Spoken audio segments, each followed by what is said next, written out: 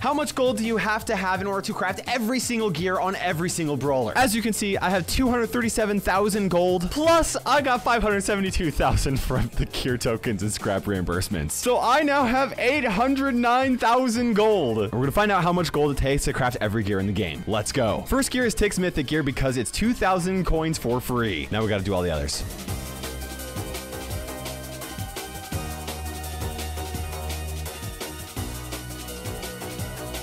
20 minutes later.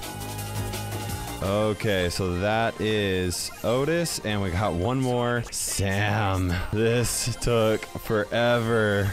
But every single brawler on here has all five gears. And we're left with 478,498 gold. And that means it costs 332,000 gold for me to get every single gear on every brawler. Unfortunately, I was stupid and I opened up a mega box and got some gold in between. But that's the right number. Thanks for watching. Subscribe for more.